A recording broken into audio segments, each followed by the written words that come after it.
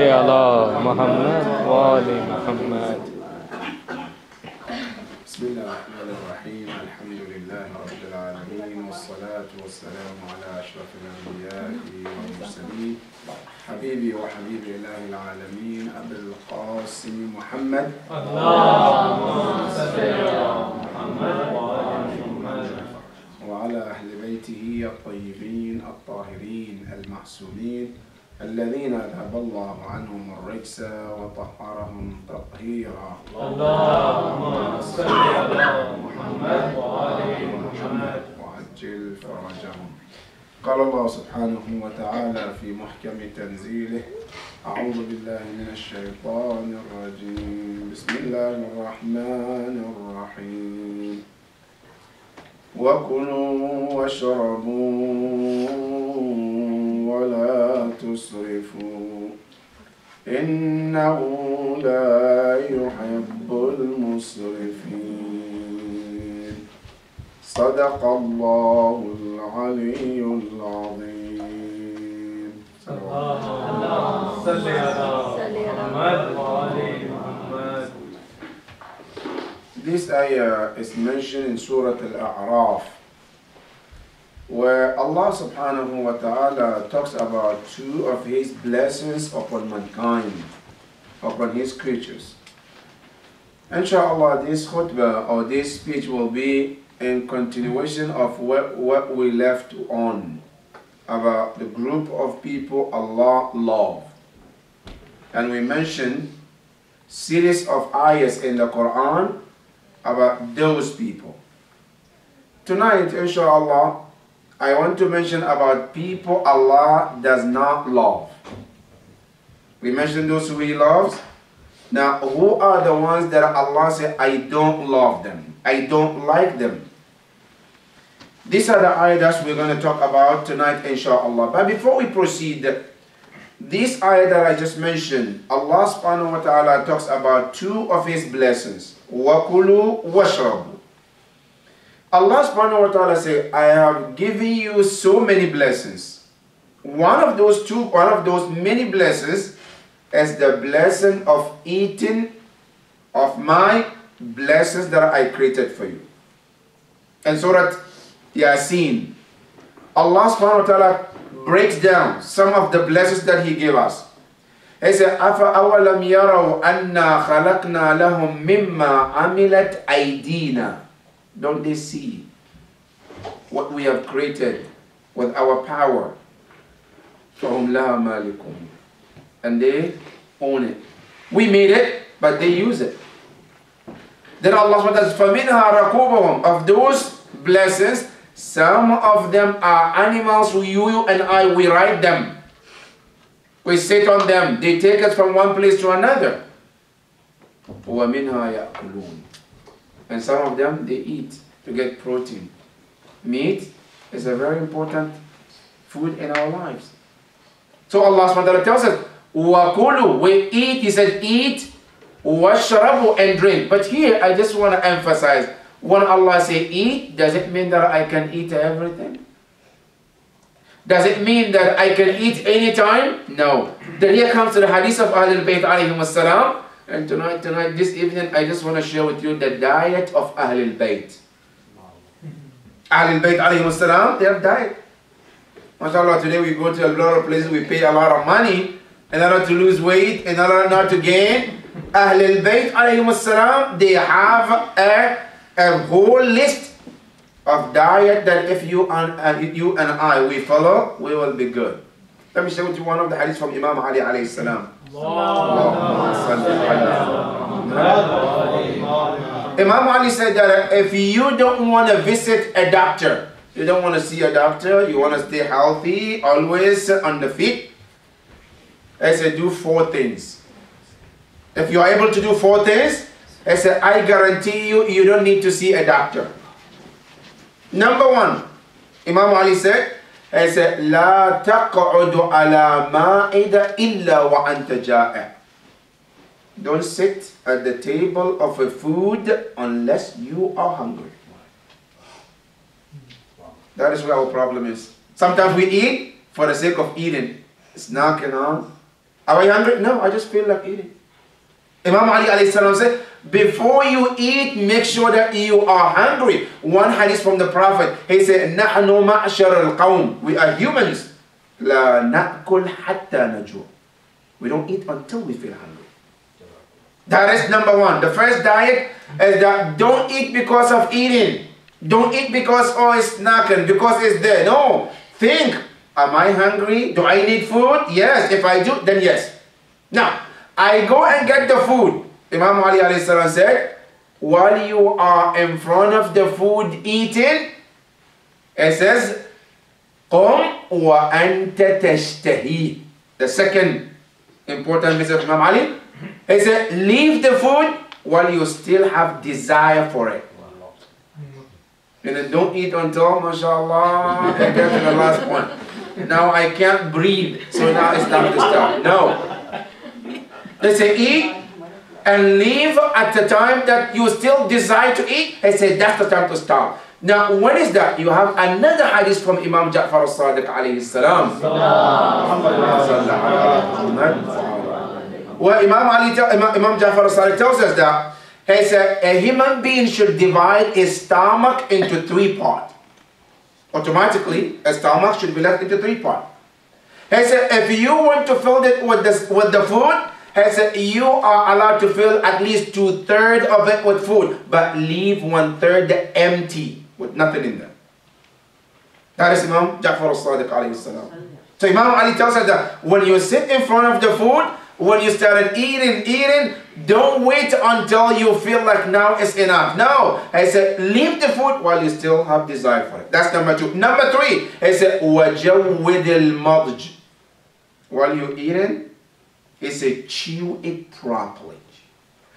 Don't swallow. Like some of us, when we put food in our mouth, it's like mashallah swallowing. It's just, I'm just like taking something and dumping it in there. Like the teeth does not any use. No.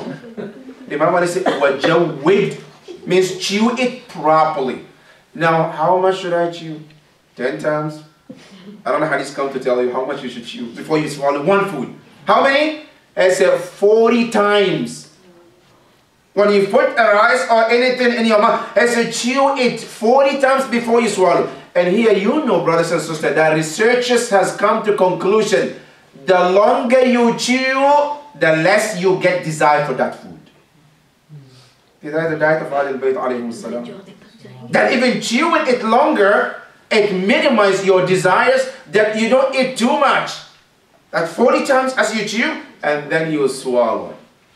That is the third. Number four, Imam says wala tanam, don't go to bed unless you visit the bathroom.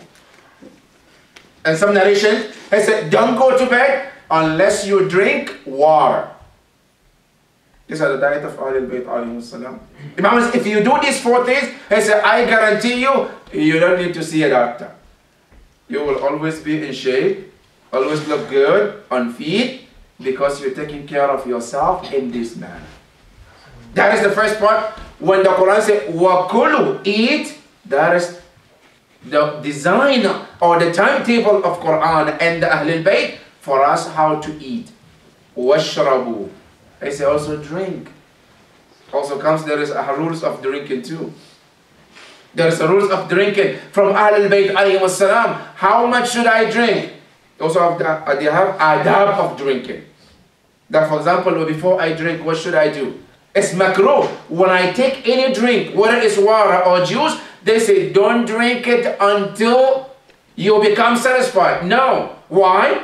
They said because when you are drinking, I bet the teachers, they say when you drink, take it off. Give it a time and then drink again. Allahu Akbar. Why? Now listen to the hikmah of Ahlul Bayt. They say when you put something in your mouth, drinking, without stopping, they say, look, when we breathe in, it's a good. When you breathe out, it's not a good thing. Now, this breathing out in your food is not healthy for you as well. So what did they say? When you drink, they say drink and take it out and then take another sip as you drink because it's more healthier that way than drinking it at one time. And you see the same thing. Imam Hussein alayhi salam, on the day of Ashura, he was teaching his enemies. When you look at Ahlul Bayt alayhi salam, they are amazing. Then Imam Hussein alayhi salam, when he met his enemies, Hur and the armies, when they came, they were thirsty, they were hungry. Imam Hussein alayhi salam told them how to drink it and why.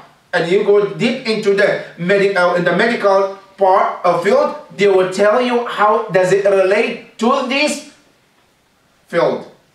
And Imam Hussein alayhi salam, one of the things he told them, when they came, they were thirsty, they were hungry. Imam Hussein alayhi salam told them, don't drink water at once. Why? Because if you do, he said, it can lead you, all of you to die. Allahu Akbar. What should we do? I said, drink and wait. Why? He said, because when a person is so thirsty for a long time, and then they get a water, drinking the water to their satisfaction at once, they say it causes something they call water intoxication. It causes a person to die immediately. And Imam Hussein told them this thousands of years ago. Tell them how to drink because it has something to do with your health. That is Imam Hussein alayhi salam. Now Allah said, وَكُلُوا Say eat, and these are the regulations. وَشْرَبُوا And drink. But وَلَا تُسْرِفُوا Do not waste. When you drink, when you eat, take what you need. But make sure that you don't waste. Yeah, one of the things we waste a lot, brothers and sisters, is food. And this I'm talking about Muslims. When we do gatherings, weddings, ceremonies, that is why you see, mashallah, a lot of food. We cook more than we need. And then the rest of them go to where? Into trash. And this is one of the big sins, brothers and sisters. You know, dua kumail, when you read it, pay attention careful. اللهم اغفر لي الذنوب التي تغير النعم. Ya Allah, forgive me the sins that changes your blessings. that you see there is a blessing of Allah is showering upon a person, suddenly everything becomes difficult. Everything he or she tries, it doesn't work. Difficult life. One of the reasons they say is israf. When you go to the tafsir of the al kumail when they ask Imam Zayn al-Abidin salawatullah wa salamu alayhi, uh, in the, in in the Kumail, when they ask Imam, what's the meaning of this ayah, uh, this saying of Imam? When he said to Allah, Allahumma kfir li al-dhunub allati tughayyiru al-ni'am, he said, al-dhunub allati tughayyiru al-ni'am, al-israf. Waste. It's not allowed in Islam. They say that one of the hadith, Imam Jafar al-Sadiq, when he walk on the street, he sees the bread left over, Imam picks them down from the ground. And then they ask him, he says, this is one of the reasons why Allah can send his punishment on the ummah. If they neglect these type of things, I say Allah can punish them with the hunger. That is why Allah said, Wala tusrifu, do not waste. By waste is a broad word, brothers and sisters. Sometimes there is a waste in food. There is a waste in drink. Yes. But you know, it's not limited to this. Sometimes there is a waste in time. And that is we Muslim too. We know something called wasting time. And this is haram, brothers and sisters. For example, we have a wedding. A program we have, if you tell people come 6 o'clock, then you automatically add in another two hours for them. 6 o'clock, you mean 9 o'clock. That's nice. Everywhere and this not just here, it, I mean every part of the world. It's like Muslims, we have agreed with Allah that Ya Allah, we don't care about time. Everywhere you go, you have certain programs, you give it a time. No, Muslims themselves, they add another hour on top of it. And that is a waste of time. And Islam, Shara'an is haram. Especially if I take time of people because every time of every human being is valuable in the sight of Allah. Every minute, every second in everyone's life is counted and will be asked about it Yawm al-Qiyamah. Do you know the hadith of the Prophet? He said, لا يمر العبد يوم القيامة على الصراط حتى يسأل عن أربع. No human being يوم القيامة will cross the sirat, the path to heaven or hell, unless they answer four questions. Question number one. أن عمره فيما أفناه. On his own life, 60 years, how did you spend it? Allah's going to ask it. Don't think that this life is free of charge. I can do it anything that I want. No, it's a aman of Allah. 40 years, 80 years that Allah gave me, Allah is going to question me about them. One, two, wa an shababihi, and also on our youth age. And this for the youth. That youth age is very important. Now listen carefully, brothers and sisters. See, the first hadith, that the first point of the hadith, I said Allah will ask you about your entire life. Isn't the youth is part of the life? Yes, it is. But uh, the Prophet said after you ask about the whole life, then Allah comes specially about your youth age. Because it's the most important part of your life. Then you have to answer Allah about it. Number three, and mali, money. Fima aktasaba wa fima anfaq. How did you earn it? And how did you spend it? And look, every one of these three that we mentioned, Allah asks you one question about it, except money, two questions. One is, how did you earn it? Halal or haram? Question one. Two, on the same money, how did you spend it? The life, how did you spend it? That's it. Right? Your youth, how did you spend it? But when it comes to money, Allah will ask you, how did you earn? How did you spend it? Number four, وَأَنَّ وِلَايَتِنَا أَهْلَ الْبَيْتِ the fourth question that we will ask Yawm al-Qiyamah is about our Ahlul Bayt alayhi salam. How did you treat Ahlul Bayt? How did you take care of them? That is one of the questions we have to be answerable to Allah. So when we talk about israf waste, it's not just about food. Sometimes time is also wasted and we have to be answerable to Allah. That is one. Number two, another thing that we can waste is life also. And these are two things, brothers and sisters. See, everything that you want to waste, you may get it back. One way or another. But if you waste a life, you can't get it back. If you waste a time, you can't get it back. Every time that you miss or you wasted today, we said in this world and today, if today leaves, that's it. Only that this today, today's date, May 5th, 2013, it will never ever repeat until the day of judgment. That's it. Another day will come, but it's not the same day. Today is Wednesday, today is Sunday. This Sunday will never repeat itself. It's another Sunday will come, yes. But the same Sunday as today is gone, gone for good. That's it. And learn to understand the importance of time. That is why Allah in the Quran said, Walla asr. I swear by the time. That's why we call our 12th Imam Sahib al-Asr. The time. Time is very important in Islam. So when we talk about Islam, it's not just about, about food or drink. No, there are many things. And Imam Ali in Nahj al-Balagha, he talks about the importance of time and life. He said, اغتنموا الفرص. Take chance. He said, take the opportunity of time and chances that comes in your life. فإنها تمر مر السحاب. They passes as cloud. Very slow. And that's it. Life Allah give us. You don't take care of it slowly. Ah. The white, the beard, start before no beard, then the beard is gonna come. Before you realize it's all black, it's gonna start becoming white. Huh? And the white comes, mashallah, you know that is what we call it cemetery flower. right? Started telling you that there is this flowers from cemetery is coming on you. Meaning you have to start preparing. Right? Good. Now these are all signs of Allah subhanahu wa ta'ala. Allah is giving you all these signs that think about it. That this time, even though you don't think about it, but it's taken from your life every single day. It's reduction in our life. So Allah subhanahu wa ta'ala says, وَلَا تُسْرِفُوا Do not waste. Why? Allah said, إِنَّ اللَّهَ لَا يُحِبُّ الْمُسْرِفِينَ Allah said, the first group I don't like are the group of people who do waste. Every person, whether it's wasting in food, or waste in water, waste in life, waste in everything, Allah said, La yuhibbul musrifin. Everybody who wastes, Allah said, I don't like. Why? In one of the hadith, I said, because they don't value this ni'mah of Allah.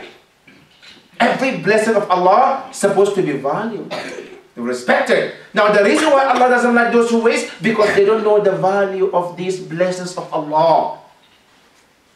So that is the group one that Allah said, I don't like them. Because they always waste. Group number two, in Surah Ash-Shura, Ayah 42. Allah said, people I don't like. Allah said, وَجَزَاءُ سَيِّئَةٍ سَيِّئَةٌ مِثْلَهَا Allah tells us in this ayah also, before he talks about people he doesn't love, he tells us about some of the rules that he created among us. He said, Jaza'u sayyi'ah. When somebody does something evil, he said, you can revenge in that manner. But there are two kinds of sins, brother. When somebody do wrong, there are sins you don't do it just because you want to revenge it. No. There are certain rules. If somebody does something evil, I can go and revenge in that manner. Islam says that is fine. But there are certain things you can't revenge. For example, if somebody comes to my house and drink alcohol, can I go to their house and say, I'm going to drink alcohol too? No, you can't do that. Yes, he came inside in your house and drank alcohol. You cannot revenge of the same thing. No. That is one of the things that you cannot revenge. But if there are things that you can revenge, Islam says you're allowed to do that. And Allah subhanahu wa ta'ala says, وَجَزَاءُ سَيِّئَةٍ When somebody does evil, Allah subhanahu wa ta'ala says, جَزَاءُ سَيِّئَةٍ You are allowed to do the same thing. Then Allah subhanahu wa ta'ala says, فَمَنْ عَفَى وَأَصْلَحَ But if you forgive, Allahu Akbar. What a beautiful character. Somebody wrongs you, you have the chance to revenge. You can revenge. But Allah subhanahu wa ta'ala said, if you choose to forgive, Allah subhanahu wa ta'ala said, فَأَجْرُهُ عَلَى اللَّهِ Allah said, then your reward is on me. And one beautiful hadith from Imam, Imam, Imam Ali alayhi salam, he said, إِذَا قَدَرْتَ عَلَى عَدُوِّكَ When you become an able on your enemy, somebody wrongs you, your enemy attacks you, and you get to the position now you can revenge. You know what Imam Ali says? He said, فَجْعَلِ الْعَفْوَ انْتِقَامًا Let forgiveness be his punishment. Allah. Forgiveness is a punishment? Yes. The Prophet ﷺ, when he conquered Mecca and he arrested all those people, Abu Jahl, Sufyan, and so and so on, what did he do? The Prophet looked at them and he asked them, مَا تَظُنُّونَ عَنِّي صَانِئًا بِكُمْ What do you think I'm going to do to you? They said, Kareem, you are generous. The Prophet said, then go, you're all forgiven. Allahu Akbar. These are the people who cursed the Prophet, gave the Prophet the hardest time you can ever imagine. But the Prophet forgave them. That is Ahlul Bayt alayhi salam teaching. Then Allah subhanahu wa ta'ala said, after you forgave, Allah said, Inna Allah la yuhibbu dhalimeen. Allah said, one of the second group I don't like are the ones who are oppressors. Those who are tyrants. Allah said, I don't like them. Allahu Akbar. Now there are three stages of tyrants, oppressors. Stage number one, brothers and sisters, is the oppressors who are oppressing the higher authorities. Somebody lower, but they oppress somebody higher. Like whom? Like us. We oppress Allah. How can we oppress Allah? Yes. We can oppress Allah when we associate Allah with something. This is Surah Luqman. يا بني لا تشرك بالله إن الشرك لظلم عظيم Allah said to Luqman was telling his son, do not associate Allah with something because doing so is an oppression to Allah. That is one form of oppression. Oppression number two is oppressing self. We oppress ourselves. How can I oppress myself? Anytime I commit sin, it's oppression to self. Backbiting is oppression to self. Lying is oppression to self. Not praying is oppression to self. Now look in the Quran. Prophet Adam salam, our father, when he ate the tree in the heaven, what did he say? He said, Rabbana zalamna anfusana. We have did injustice to ourselves. Yunus salam, he also said the same thing. When Allah asked him to go to Nineveh, when he talked about himself, he said, Inni kuntu mina. He asked himself to be, instead himself is one of those oppressors. Oppression of self. That is true. Number three is called dhulmul akhar. You oppress others. And this oppression is one of the worst as well. That Islam does not allow to oppress anybody. Today, when you go, brothers and sisters, as we live in the current event, one of the oppression that is going in the world today, not only oppression of somebody who is living. So sometimes you oppress somebody, he is living, he can see, he is still walking on the earth. That is one kind of oppression. But there's another oppression, even the deceased are being oppressed today. And that is the, life, the time that we live today. And when you go to the history, before we used to read it, that those people were oppressed even after they were killed and after they died. But today we see this in our own time. Like Hujr ibn Adi, one of the great companions of the Prophet, who died years ago and he was buried. Today we see the oppression is going on today. That people who so-called Muslims, which are nothing to do with Islam. Wallah, Islam is far away from them. Because this is not the teaching of the Prophet. The teaching of the Prophet that we know from the true Ahlul Bayt is that they respect the deceased even if that deceased is not a Muslim. They respect the deceased even if that deceased is a mushrik. Now let me take you just to give us an example about the true Islam from the false Islam. Our Imam, Imam Ali alayhi when he killed Amr ibn Abdul al-Amri, a kafir who came to fight the Prophet and kill Muslims, after he killed him, everything on his body, the gold, the diamonds that he was, was, he was wearing, nothing was taken out of him. Nothing. That they asked Imam Ali alayhi salam, at least take this gold and jewelry that he has. Because in Islam, when you kill the enemy, you're allowed to do that. Imam Ali alayhi salam said, no, I'm not taking anything. Why? Now listen to the answer of Imam. To know the difference between the true Islam and the false Islam. Imam Ali said to, to, the, to the other people who asked him, he said, إِنَّهُ كَبِيرَ قَوْمٍ He said, he is one of the leaders of at least the non-believers. He said, and I do not want to humiliate him even after his death. Look at the true Islam.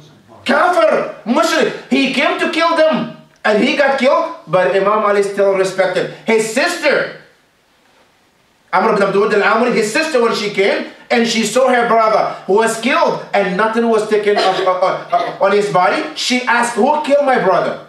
They say Imam Ali. And listen to her word. She said, Wallahi qatilu akhi kuf'un kareem. He said, the killer of my brother is a generous killer. That he killed him but still honor, respect him. That is our true Islam. Comparing to the non, the, to, to, comparing to the fake and false Islam. That, that's the teaching of true Islam. That you respect somebody after they die. In Islam, we are not allowed to dig a grave of any person unless in certain situation. Situation number one, if a person is buried in a non-Muslim grave, a Muslim, by mistake buried a non-Muslim grave, they said then you are allowed to, to, to dig and take him from the non-Muslim cemetery to bury him in a Muslim cemetery. But even this, there are conditions. If there is a hope that the body is not being destroyed after that, then you are allowed to. But if you know, then you leave the body there. Number two, they say if you bury a person somewhere and you are afraid that that body can be gone and attacked by an animal or human, then you're allowed to dig the grave and take the body to somewhere else where you know it will be safe. But digging the grave of a mu'min is haram in Islam. But today we see that so-called Muslims, they go to the graves of this great companion, Hujr ibn Adi. And not only this, they also go to other graves also, like Ja'far al-Tayyar, and they attack that shrine as well. But brothers and sisters, here is our responsibility. Wallah is our responsibility. We don't need Imam to tell us what is our responsibility. You go back to the history, brothers and sisters, during the time of Mukhtar al-Thaqafi. Mukhtar, during his time after Imam Hussein was killed, he knew that what was his responsibility. And he went after every one of those who oppressed Imam Hussein and he brought them to justice. Those who were not able to be in that position, at least they vote, they say something. At least those who cannot do something, or they cannot say something, at least they feel something in their heart. Brothers and sisters, every one of us, wallah, we ought to do something about this problem that is going on. And if we fail to do that, wallah, every one of us is responsible in front of Allah. It's very sad, brothers. Because if we don't do anything about this, so number one, they attack the grave of Hujr. Nothing was done. Now they go to number two. Now if nothing is done, well, they will think of attacking even the biggest shrine than these shrines. But they have to be stopped. But what is sad is the leaders of the world are quiet about it. That is what is even sad than the old thing. The imams, the leaders, the leaders, that those who can speak, they are quiet. It's like nothing is happening. When you look in the media, a lot of media don't even even cover these things. It's like nothing is happening. And this is the oppression that is going on. Our imams and their companions, they were oppressed when they were living. And now even after they died, the oppression still continues. Brothers, we all ought to say the truth and do something about it. Whatever we can, every little that we can. I can speak, I can write, I can do something. We have to do something because otherwise our Imam will hold each one of us accountable. Because remember, there is a lot of hadith. And there is a lot of proof also from the Quran that if somebody is doing something wrong and we know and we see and we don't speak or do anything about it, we are also partners in that crime. Listen in the Quran, in Surah Al-Shams, when Allah talks about the people of Salih, when they killed the camel, Allah said, It was one person who went and killed, but the others, they didn't go there. But when the punishment of Allah came, Allah didn't spare them because they didn't do the killing. Allah punished the entire town because they were quiet about the, the injustice that was going on. The same thing you and I, when we read in Ziyarat Ashura, Allahumma il'an, we say Allah cursed whom? Qatalat al-Husayn, those who killed Imam Hussein. Not only that, وَلَعَنَ اللَّهُ قَوْمًا سَمِعَتْ بِذَلِكَ فَرَضِيَتْ بِهِ Those who heard it, but they were content. They didn't kill, they didn't go there. But they were content. We say la'an on them as well. So it's our responsibility, brothers and sisters what is going on in this world today is something that we all have to say something, do something in our capacity. If I can write something on the internet to let the world know that this is not accepted, if I know somebody I can call who can make any difference, then I have to do that. Every single thing that I can do, I have to do in terms of showing that I disagree with this injustice.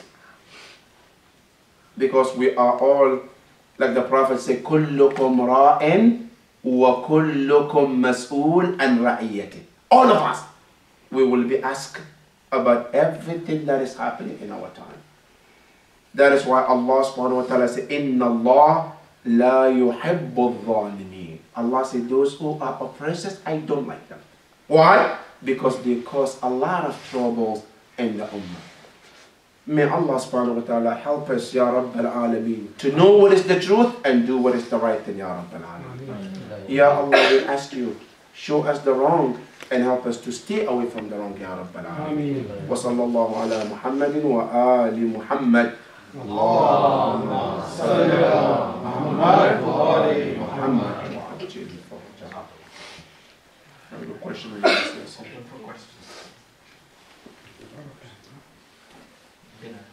Yes. So in terms of uh doing something about uh, Niyadi uh, Right. and this incident, so in, in terms of our ulama, is there some guidance on what is the right thing that we should do in different parts of the world? Is there, I mean, some guidance, or should we just do whatever we think Correct. Yes, the question is, in terms of what happened in uh, Syria regarding the Hujr ibn Adi, is there any guidance from the, our ulama? Or no, everybody can do whatever they think? No. The answer is, always our scholars, they have guidelines for us. You know, we can't just do anything that we think. We might be wrong, we might do something that is not right. So they have guidelines for us. Number one, our responsibility is to disagree with this act. Whether I can say it verbally or in my heart, at least I have to feel in my heart I absolutely disagree with this action. That is the first responsibility, which in our translation, in our aqaid, we call it al-bara'ah. You have to do bara'ah from these people. That you are denouncing this act. You have to condemn that act. That is number one.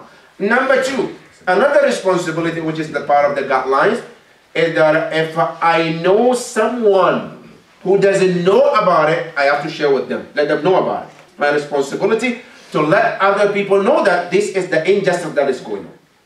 That is number two.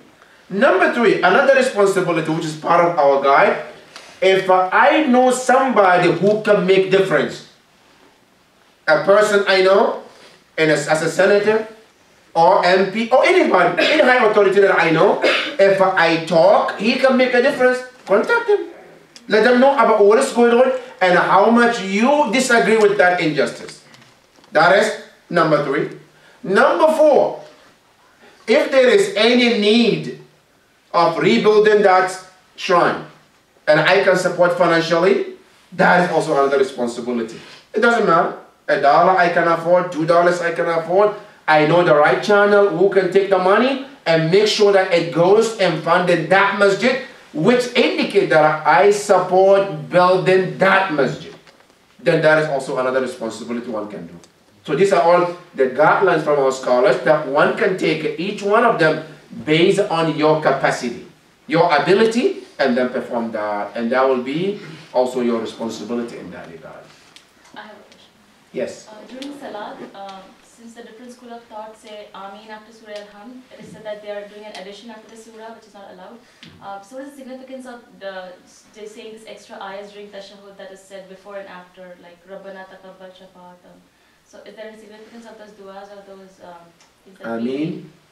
uh, like the different school of thought say Ameen after Right. Surah Al-Hamd, like Yeah. the, uh, Sunnis say that and we say it's not allowed Mhm. because there's an addition in the Salat. Right. Um, so when we say something during uh, before the tashahhud, so what is the significance of that? Like what was Hmm. Oh, that? Uh, Yeah, the question is, in our school of thought, we know that it's, there are certain things we also say, and it's not part of tashahhud. One of them is, Bismillah wa billah wa khayrul asma'i al-husna lillah, for example. Or for example, وَتَقَبَّلْ شَفَاعَتَهُ فِي أُمَّتِهِ وَرَفَ It's not part of tashahhud. However, the reason why this is said, this is, you can find this in the fiqh book. This, what I just mentioned, when you look in the Bab al-Tashahhud of all the marajat that we have, they all quoted from the Prophet and also our Imams that when they do tashahhud, they do this as part of mustahab. In every action we do in Islam, there is wajib and there's mustahab. Tashahhud, there is wajibat al-tashahhud, is mustahabbat al-tashahhud. Wajibat al-tashahhud is to say that tashahhud itself is then there is mustahabbat that relate to tashahhud. One of them is how you say. For example, they say, as you sit for tashahhud, it's mustahab your hands to be on your thigh. One of the mustahabbat to be looking on your thigh as you're sitting. And then you add wa taqabbal shafa'atahu fi ummatihi warfa' darajata. For example. So these are all mustahabbat that we have that is mentioned from the Prophet and Imams. And following that steps is why we say that. So if you have any addition that come from the Prophet or Imam, then absolutely is justified. But adding something that was not added by the Prophet or Imam, that becomes void and it makes your salat void. And I mean is one of them. Yes. Yes. Yeah, I've got two questions. One regarding uh, Qasar Salat. Yes. There are many people who say that at the Idara they're going to read Qasar Salat, and there's some people who just read regular Salat. Now, which one is right? What, what should we do? And the other question is about Ayatul Kursi. Like us Shias, we read all the three ayahs in the Ayatul Kursi, and Sunnis stop at the first ayat. Yes. Why is that so? And what, which one is the correct one? Which one is the actual Ayatul Kursi? Alright. Number one, in terms of the qasr, qasr means to shorten a prayer. shortening prayer, there are three prayers and five daily prayers that we perform that uh, Islam allowed us to shorten them when we meet the conditions. And those are Dhuhr and Asr and then Isha. The Maghrib and Fajr, they stay the way they are. It doesn't matter. Now, in this Qasr, there are conditions that our scholars mention in fiqh. That before one can, uh, can shorten their prayer, they have to make sure that they meet the conditions. If you meet the condition, it doesn't matter. Wherever you go, yes, you do Qasr. Whether it's in Idara or at Ashburn or in anywhere, you can do it. That's fine. As long as you meet the conditions. So those who are doing the Qasr at Idara or any other part, they have to make sure that they meet the conditions. And let me share with you some of those conditions. Number one, one of the conditions that one is allowed to do Qasr is that it shouldn't be that your job is to travel. In other words, for example, if somewhere that I go on daily basis or weekly basis, then I can't do Qasr. Qasr is for those who once in a month or maybe once in three months they travel. Then they have the, the right of Qasr. But if somewhere I go, even if I meet that distance, if it's something that I do weekly, monthly, then there is no Qasr for me. So these people have to know. If I go to Idara every week, every week, it doesn't matter the distance. Since it becomes routine, then Qasr is not my choice. That is number one. Number two, when you travel, your niyyah have to be pure. It has to be halal intention. For example, if I say I'm traveling to New Jersey, to do what? I'm going to backbite. Okay? You go, but you have no qasr. Because you're going to do haram, no qasr for you. The intention have to be halal. I'm traveling for good intention. I'm trying to visit someone. I'm traveling to take my family so to we can see New Jersey. That's a good intention. That you have a qasr. That is number two. Number three, also one have to make sure that while they're going there, they are not staying more than 10 days. If I go somewhere and I'm going to stay there for sure more than 10 days, there is no qasr for me. From 10 less, then yes, I have the right to do qasr while I'm there. So there are rules and regulations. It's not like, oh, I go here, I feel like doing qasr today, so today is my qasr day. Or tomorrow I don't feel like qasr, then I feel tomorrow. No. So you have to know that before you do qasr, you have to make sure that you meet those conditions. That is in that regard. Now, number two about the Ayatul Kursi. Ayatul Kursi, there is dispute about it. Whether it's one ayah or it's three ayahs. Right? Some Muslims, they consider it one. From Allah la ilaha illa huwa al-hayyul qayyum to wa huwa al-aliyyul azim. That's Ayatul Kursi. But Allah waliyul ladina amanu and the rest is not considered part of Ayatul Kursi. That is some of the school of thought. But in the Shia school of thought, we believe that most of our scholars, they said the other two ayahs also are considered part of the Ayatul Kursi. But recently, recently, and I can give you the references for those who want to go and check, Ayatollah Nasir Makarim Shirazi, one of our Maraja, in his Tafsir al-Amthal, he has a discussion about, according to his opinion, Ayatul Kursi is one ayah. And his opinion is what? He said when he said Ayatul Kursi. Ayah means one. If it was two, it would say Ayatul Kursi. If it's three, Ayatul Kursi. But it's Ayatul Kursi. Ayah means one. So he has some references that he made, argument that according to his opinion, Ayatul Kursi is just the one ayah. Anything else is additional. However, as we said in Africa, a lot of meat in the soup makes it even better.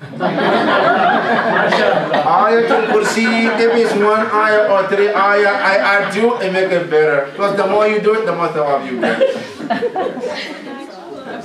Thank you. I'm hungry now. Alhamdulillah, inshallah. Alhamdulillah. Uh, the, the, Let's go ahead. um, when, when you mention the four things, right? The Allah subhanahu wa ta'ala will ask the, the moment before on the sirat, inshallah, right? So the first one is the whole life, the you, the third one is how you spend the money, how you earn the money. Right? I am trying, what's the hikmah on the fourth one? The, on the, on the wilayah of, the wilayah of Imam Ali alayhi right? What is the, three things are so different, and the fourth thing is, is that for the, is that for the Mawaddat of Imam Ali alayhi salam, or is it, is it, what is that? Is it, Right. and how is that connected to the, you know, the beginning of Imam? Right. Um, the question is the hadith that we mentioned that uh, nobody will cross the Sirat on the day of judgment until they answer four questions. And we mentioned those four questions that will be asked. And the fourth one we said is the wilayah of Ahlul Bayt alayhimus salam.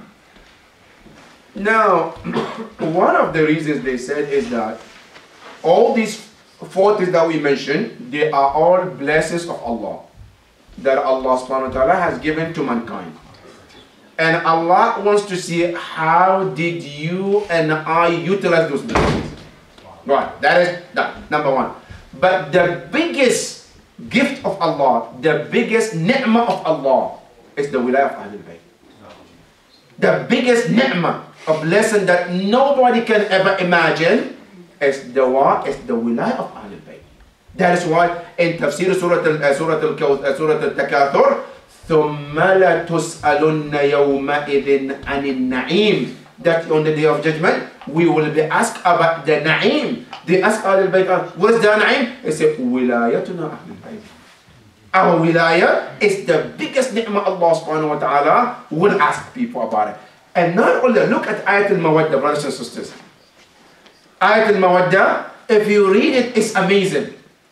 قل لا أسألكم عليه أجرا إلا المودة في القربى. Then he says, ومن يَكْتَرِفُ حسنة نزد له فيها حسنة إن الله غفور شكور شكور is what? From the shukr, being grateful. Now Allah talks about the Ahlul Bayt alayhi salam, their love, and then the last part of the ayah talk about being grateful to Allah. Why? You always be grateful to things that is ni'mah. Now Allah says shakur because uh, ni'mah is uh, Ahlul Bayt, they are one of the greatest ni'mah of Allah upon us. That is why we have to be answerable to Allah upon this greatest name of Allah. Yes. My question is about marja. Yes. Uh, we are supposed to believe in one marja. Uh, two questions. Yes. Uh, one is, um, let's suppose uh, mm, you believe in Aga Khu'i, Yes. but he's no more. Right. But his organization is there and somebody is taking care of. Many uh, people believe, uh, they say that um, even though he's not alive, but uh, we believe in his, uh, mm, you know, uh, it, it, that And organization. Is that possible or we should have a marja that is, has to be alive? First question. Second is, you have a marja, you choose your marja Yeah. because you like him, you are convinced that he is good and you are following. But then you ask a small question and you're, you are not convinced inside your heart that that uh, the right answer. But another marja has the same answer, which you are convinced, but he's not your marja. So what should we do? We have to follow our marja. We don't want to switch. But what should we do in that case if we are not convinced on a small question? Now, the question number one of the sister is regarding about choosing a marja. That if I have a marja and that marja passes away, and then there is another marja, for example, who is still, uh, the, that marja who pass away, they have their center, they have their office that they still continue to give fatwa based on that marja. So can one continue to follow that marja? Am I understanding correct, right? Can I continue to follow that marja? Or no, I have to follow a living marja. Now this depends. The situation depends. If uh, I was doing taqleed of this particular marja while he was living, he was still alive, and then he passed away. Here I have the right to continue with him even after his death. If I start doing taqleed of him while he was alive, after he passed away, I can still continue. Unless in the situation where he doesn't have opinion, that something happened to him, he has no opinion, then I can go to a living marja in that particular issue to get his opinion. But I can still continue with their deceased opinion, their deceased marja.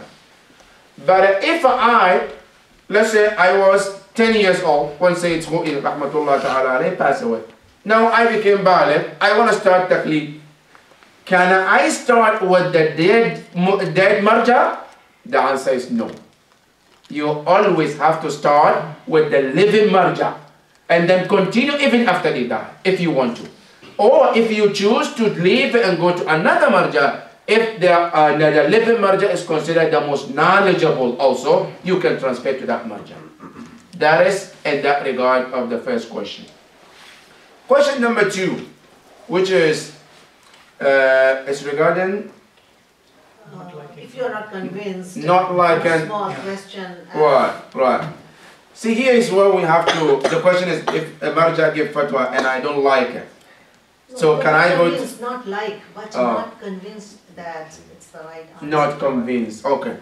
See, number one, when a marja gives a fatwa, there's always have the backup, either from the Quran or from the Hadith or from what we call ijma, consensus that they have a group of scholars before him, they agreed on that.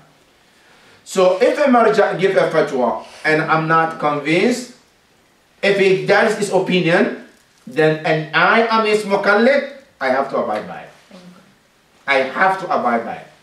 The only time I can leave him and go to other is if he doesn't have a strict opinion. If he didn't say, this is my opinion.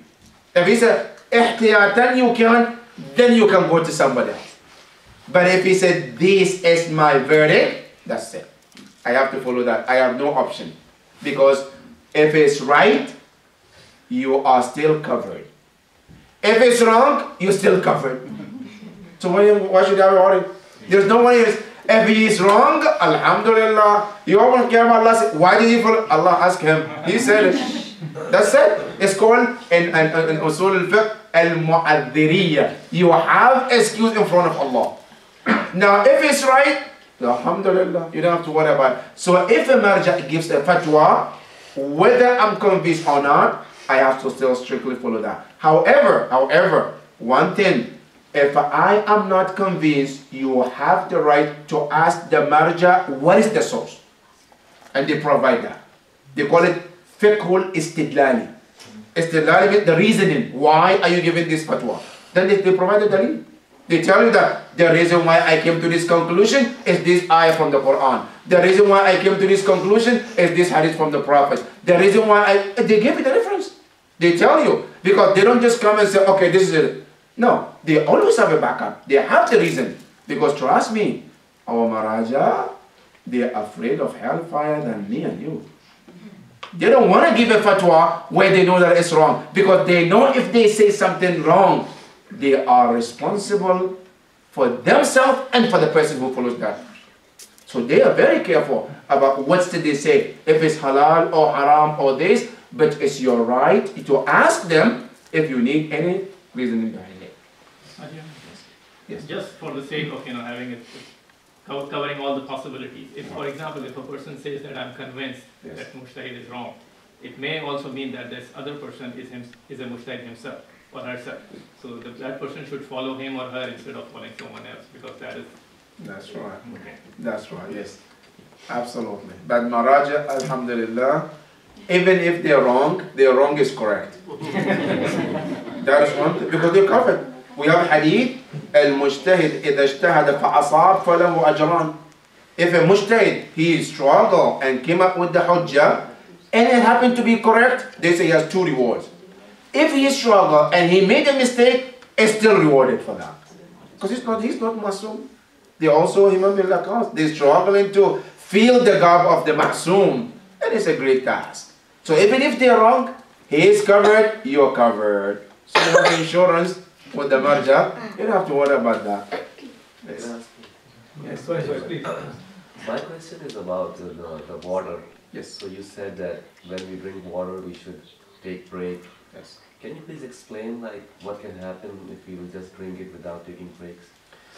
Um, it's the brother's asking about drinking water. That if one drinks water, one should drink it together continuously without stop, or it should be pausing. Number one, let me let me be clear that it's not haram if I take a water and drink all of it without stop. It's not haram. what they say in adab shurub, adab means the morals and the manners of drinking. They said it's makruh to drink something once for two reasons. Number one, they said that every time you eat or drink, it's mustahab to pause and thank Allah subhanahu wa ta'ala.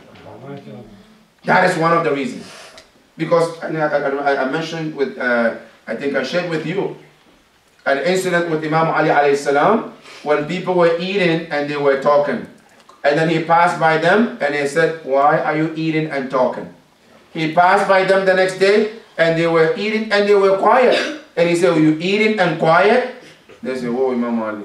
Wait a minute. Yesterday we were eating and talking. You say, why are you eating and talking? Today we thought, okay, talking, eating is makruh, it's haram, we will stop. And now it's, what should we do? Imam Ali says, aklun wa hamd. What you should do is, when you eat, every bite you have to thank Allah. It's not like, ah, we wait until, mashallah, my stomach is full. One time, alhamdulillah. MashaAllah. That is us. That is even if we remember, huh? If we don't remember, sadaqallah We done, that's good enough. So here, what Imam is teaching that when you take every bite, one's supposed to thank Allah. Because brothers, Allah, this is something to think about. Number one, do you know that when you have food in front of you to eat, there are millions of people who don't have that opportunity. Some of us, we have three meals today. I can tell you in some part of the world, people eat one meal a day, and they're lucky even if, even if they get one. Allah bless you to have, even Allah deserves to be thanked. That is number one. Number two, now not only you have the food, now you have the ability to eat yourself. How many people are out there? The food is there, but you can't eat themselves. How many people they are there? They have to be fed because they're sick. But Allah gave you these two blessings. The food is there, the ability is there. Now, not only that, some people they get it, they, they've been given the food, but they can't chew it themselves. The food have to go through something. But Allah gave you all these blessings. Shouldn't you be thankful? That is one of the reasons. That's it. When you eat, at least take a pause to remember to thank Allah for that blessing. That is number one. Number two, also they said, one of the reasons why I don't drink at once, because Imam Hussein said to his Shia, in sharibtu ma an adban fadhkuruni. They say, oh my Shia, my true followers, anytime you drink a delicious water, remember me, Ya Allah. Remember me, you drinking the delicious water? There was a time your Imam was deprived from it. Then you remember that Imam. That is also one of the reasons that they say it's makruh to drink water. Yes. Yes, brother. Uh, referring back to like um the grave, you were saying the conditions are like not like taking like the person out and bringing them again. Right. So if like your family member passes away and you like put him, bury him properly in the grave and the Muslim grave, then you find their will and it says you want to be buried, they want to be buried in like somewhat place. So do you have the right to take them out and bury in the place you want or they want or like you should just leave them there? Wow, That's like five shifts. Yeah. The brother is asking a question that if a Muslim was buried somewhere, not knowing that he or she already said in their will that he or she wants to be buried in a certain specific place. Now, after he or she was buried, then later on we found out, no, he wrote in his will, or she wrote in the will, that I want to be buried in this particular place. So can we go, dig the grave, take him out, and bury him of the place of his choice? The answer in the effect is yes, we can, if there is a sure that nothing has happened to the body afterwards. If we know that the body will be saved, taking it from one place to another, then we are allowed to do that. But if we are sure that no, the body will not be saved after a long period of the burial, we know that something has happened to the body and we can't take the body to another place, then we have to leave it there. However, whatever the case is, if the person happened to be a mu'min, a true mu'min, then you don't have to worry about it. It doesn't matter where he or she get buried. There are some angels, they call them an-naqalun. Naqalun are the angels who their job is to move a, man, a disease from one place to another. That this hadith from Imam Ja'far al-Sadiq alayhi salam, when one of his companions, Imam was sending him to one of their non-Muslim city to go and do tabligh. And he was so sad. Imam asked him why. He said, Imam, I'm afraid I might die there. And I get buried with those non-Muslim. Then Imam said, didn't you know or heard about the angels called Nakalun? Those who transfer the disease. I said, what it is? He said, we have angels who are taking the disease from one grave to another grave to make sure that they get proper burial. If a person was not supposed to be buried next to a person, they will transfer the person to where he or she supposed to be. So if we can take the person and bury them from uh, to the right place, then we should. But if we can't, inshallah, those angels will do that for them. Good question. Yes. Very good. Can you follow two marja? The question is, can you follow two marja? The answer Because is you no. go to Najaf, you see Sistani, you see Bashir Najafi there. Yes. Back when Ayatollah Khomeini was there, I 19, and I remember, we all used to follow him. Yes. Now you go to Iran, you find marja because main thing is that there are so many marja now. Alright. Um, yes, the question is, can we follow more than two marja, or more than one marja? The answer is no. You have to pick only one. The only one marja is one that you have to pick. But yes, there is something we can, we call they call it in fact a tab'id. Tab'id is you have your marja, but if your marja doesn't have an opinion in something, you can go to another marja for that opinion. Or you have a marja, but he passed away. And then there is current affairs that happens, and your marja that has no any opinion about that, you can refer to a living marja to get that opinion. That is fine. But I can't have two marja at the same time. Taking from Zayd, taking from Amr. No, you can't do that. It has to be one a Or you can just follow them because you send the question to both of them and you get the Najafi answer first, then uh, Sistani, that you do. Then you have to pick up one marja that is the one marja that you can get what do you call um, you can correspond with all the time because that is one of the one of the requirements too. You can't choose a marja who lives somewhere where you cannot get question and answer from him. So if you have a marja that you can connect with him, you can talk, you can get your answers answered, then that is the marja to follow if he meets the conditions. So, Yes. actually, we just came from Jerusalem, so somebody was telling us in Mount Olive, in that valley, Yes. that's where the judgment is going to happen. What are Which judgment? Uh, at the day of judgment, uh, in Qiyamah. Um, time of, is that true or is it just a belief of uh, our the Sunnis uh, that they believe that? Because that's what they were showing us, that that's where people will line up and go right and left.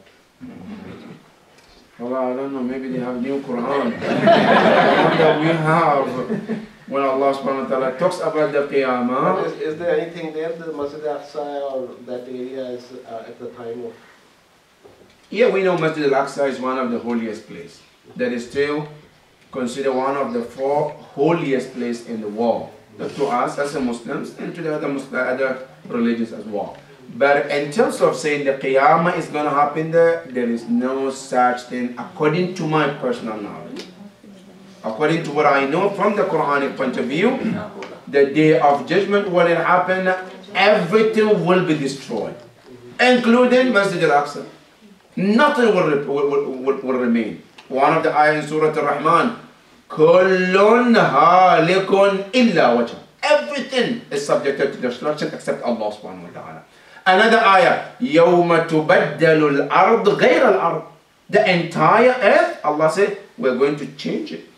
The heaven, إِذَا السَّمَاءُ انْفَطَرَتْ وَإِذَا وَإِذَا الْبِحَارُ سُجَّرَتْ Everything have to go according to the qiyamah, according to the ayahs that we have regarding the qiyamah. So there is no evidence, as far as I know of, that one part of Jerusalem is considered the place where the Qiyam will take place. And I don't think that place can fit all of us. So many. One, one more question before we start the dinner. Go ahead, sister. Um, well, if, if I could comment on that, I know from one of my classes I took, it's a Jewish belief that the city of Megiddo will be where Armageddon takes place. So that may have been a Jewish thing that's come our way. It's Palestinian or, uh, you know, that's what. But uh, my question is, we see a number of hunger strikes happening right now, um, you know, across the globe. And one of the ways that I've seen Muslims participating um, is by fasting. First of all, is a hunger strike an okay thing to do since you are causing pain to yourself? Um, and is fasting a sound way to make a political stand? Very good question. Number one, the question of the sister is that can a Muslim commit or do hunger strike? Or if you want to strike, you go strike. But you don't have to go hungry. you don't want to eat, you want to fast, that's fine. But to want to cause themselves, to make themselves hungry until death is not acceptable in Islam. It's considered suicide in Islam. It's haram. Mm-hmm. It's not acceptable in Islam. If one has to stand against an injustice, there are so many ways to express that. But hunger is not one of them. But if one wants to use like fasting as one of the ways to show their hunger or their disagreement with something, yes, they can do that. But it shouldn't lead to cause a person harm or mm-hmm. death, death in that regard. Even, even if the person who's on hunger strike is in prison hmm. and is protesting to, to improve his political situation? Yes, even if that's the case. We have our Imam, Imam Musa al-Kadhim alayhi salam, who spent the majority of his life in the, in, in the prison, which in the ziyarah, we call him Sahib al-Sijin, the companion of prison. For almost 23 years, he spent his life in prison. The Imam alayhi never said, I'm going to do hunger strike because of that. So we have our Imams who are the guidelines for us. None of that ever happened. And the fiqh also, they didn't allow us to do that. Yes. One last question. I have, yeah, permission for last question. I asked him first. Yes. Okay, around, going back to the Taqleed question again. Um, there are three categories of people when it comes to Taqleed. You know, you, either you are Mujtahid or you are muqallid. And then there is one in the middle. Muhtat. Muhtat, yes. Yes. It seems that people are more interested in this, this middle, middle, you know, category. Why, why don't we talk about that? Yeah, we can talk about. See, I'm talking. Let me let me be frank, and I'm not going to take much of your time. One of the things that I personally am always shocked about it is that when it comes to ijtihad. See, most of us as a Muslims, mashallah, mashallah, when it comes to Islam, we are all maraja. Alhamdulillah. Everyone, when it comes to Islam, we are all maraja. Nobody is muqallid. When it comes, see, when, he, when we go to the doctor, a doctor, you go to the physician, he tells us, oh, you can't eat this. Okay, doctor said so. That's it, done deal. We go to engineer, he wants to build their house, anything. He tells you can't do that. That's it, someone with that. Except in Islam, when an alim or madrasa, why would you say that? What is the proof? And then I say, Allah said, Kul wallahu ahad. Don't you see this ayah says this is? Then that is where our ability comes in. You know, brothers and sisters, these maraja, trust me, wallah, they owe us the respect. It's very unfortunate that those maraja, they spend their life in order to become maraja. Yes, sometimes we see some of the officers of Maraja might not do the right thing, they might make mistakes, but don't blame this on that Maraja. Maraja sometimes they don't even know what's going on in these places. And those Maraja, wallah, they have sacrificed their life in order to get to that level of that position. And you go there and you see 50 years, 60 years of their life spending, reading, researching, living in a very, very low situation, a very poor environment in order to become a marja. Let me share with one example. Ayatollah Araki rahmatullah ta'ala alayh, who was one of the maraja. Do you know that he at one point, in order to read and to become marja, he used to go to the public to, uh, toilet, public toilets to use their candle in order to read the book. that Ayatollah Araki.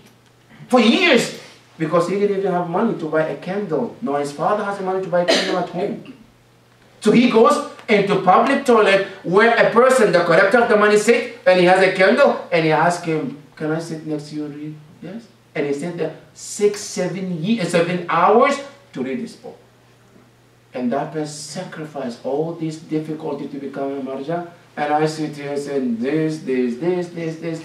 Oh, brothers and sisters, that's number one. Number two, remember those maraja, they were put where they are by our 12 imams.